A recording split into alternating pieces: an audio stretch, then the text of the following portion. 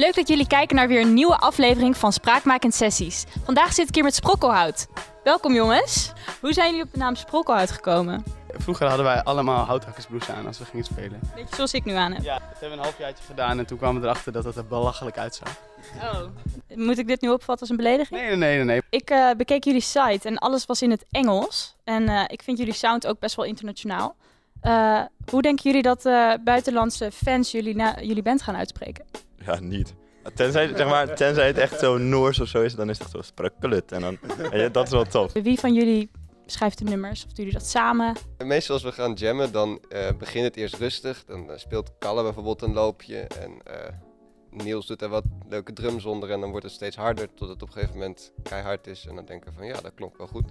En daarna komt de tekst. Of... Ja, dat komt eigenlijk pas als we het proberen op te nemen. Want dan komen we erachter dat we ook tekst nodig hebben. En waar halen jullie dan sp- inspiratie vandaan?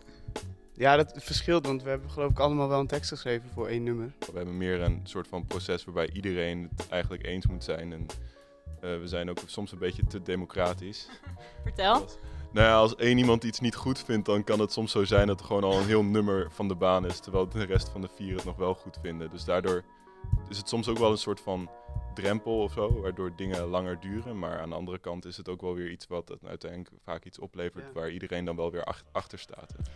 Doen jullie ook nog dingen naast muziek maken?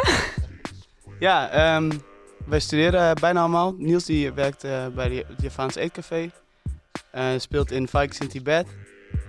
En eh, Olaf en ik studeren kunstmatige in- intelligentie. Eh, hij studeert wiskunde, hij studeert aan de kunstacademie. Jullie gaan nu nog een nummer voor ons spelen. Eh, hoe heet het? Het heet The Joker. En waar gaat de Joker over? Ehm, ja, dat is best verschillend. Ik heb het samen met Kalle geschreven en we hadden het er gisteren nog over van... Waar denk je eigenlijk dat het over gaat? Hij kwam met iets heel anders aan dan ik. Als je tekst heel concreet maakt, dan gaan mensen ook gelijk die mu- muziek eraan relateren. Ik vind het heel mooi dat, dat het bij ons toch een beetje in het midden ligt. Aardig metaforisch en dan kan iedereen er wel in vinden wat hij, eh, wat hij ervan vindt. Ja. Nou, we gaan er nu naar luisteren. Bedankt voor jullie komst en eh, tot de volgende keer. Vonden jullie dit nou ook een leuk filmpje? Doe dan even je duim omhoog op YouTube.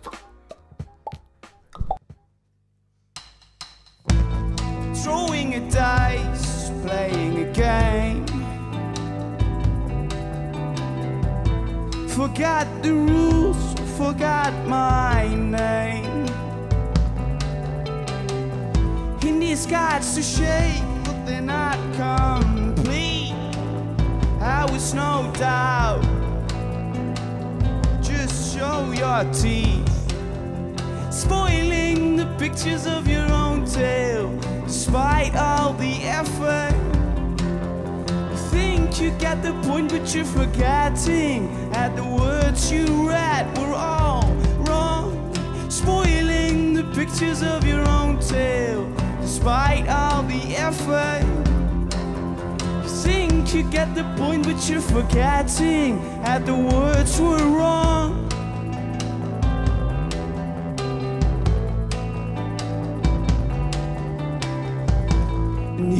Here are your cards, they don't combine.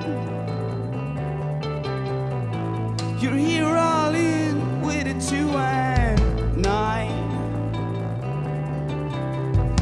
Just grab your chips and don't look back. Cause there's brightness to find or you won't expect.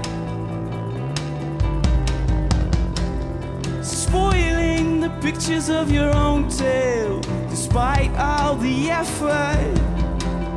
You think you get the point, but you're forgetting that the words you read were all wrong. Spoiling the pictures of your own tale, despite all the effort. You think you get the point, but you're forgetting that the words you read were all wrong.